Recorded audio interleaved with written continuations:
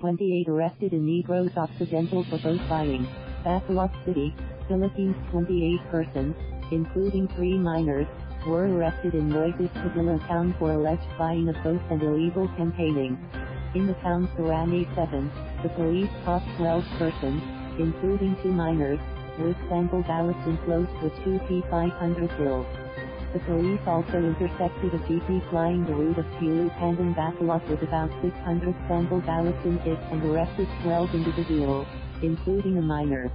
Police Lieutenant Colonel Adrian Accolador, head of Task Force MOLAI, Moises Padilla, and neighboring towns, La Castellana, and Isabela, said they received reports that the suspects were involved in both buying.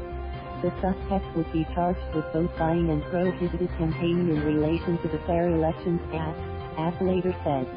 He added that the minors aged 15 to 16, however, were released from police custody.